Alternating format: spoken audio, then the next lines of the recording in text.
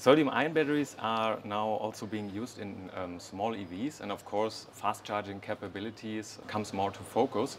Um, so what happens to sodium nickel manganese oxides during fast charging? Yeah, so basically um, we're investigating layered oxides because they are promising for a high um, capacity compared to um, other options that we have for the cathode. But um, basically they suffer from some uh, structural instability. So we do have um, a layered systems, system where we store the, the um, sodium ions, but once, once we take them out, the, the layers go closer together. And basically, if we do that a couple times, we see structural degradation. And especially now, if we want to go to um, fast charging, that means um, in that structure, we do have different processes uh, taking place at the same time. So we have this uh, mechanical effect of the layers coming closer together um, when we extract the sodium, but we also have a, a diffusion um, process that happens at the same time.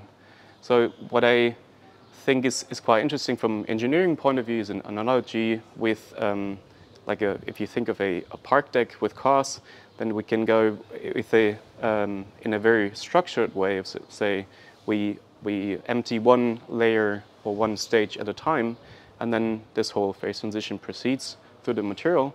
But if we try to do this very fast, then this is exactly what happens if we try to charge and discharge these layered oxides at um, high rates.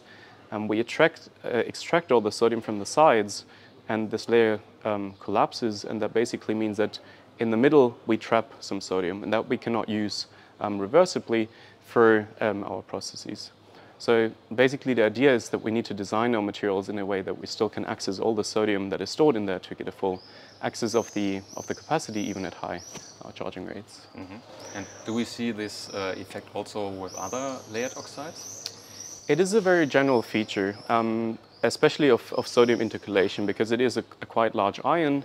So generally, once the sodium goes into a host structure, um, it has the tendency that the structure needs to uh, expand or collapses once the sodium is out. Um, and that, is, that means on a material science uh, level, we are talking about a phase transformation happening in the material because we change the crystal structure as the sodium goes in and out. And that is very common to all sorts of different uh, layered oxides. And now we can tweak this a little bit. Um, if we add uh, different transition metals, we can change the actual phase transformation that is happening and maybe mitigate this effect a little bit. But it's a, a very general uh, feature. Mm -hmm. But is it a good idea maybe to, to switch to other uh, materials like Prussian blue? Um, yeah, it is a trade-off. There are, um, basically we can, we can, can take different crystal structures as a host structure for the sodium, and it's a trade-off of it, it is very stable, but then it is more heavy because we're providing more structure to insert the sodium. So if we're going for high capacity, and that is what we want eventually, um, the, the layered oxides are very promising because we only have like this um, layered structure, but then of course we need to work with the effect that is, is, um, has volume change in it.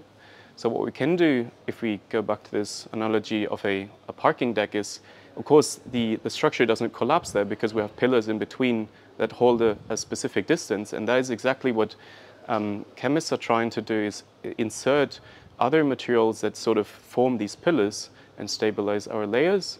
And also, um, yeah, other, other effects that, that lead to different phase transformations. So it's, it's not this super strong volume change, but we can stabilize the structure and then still use it at high charging and discharging rates.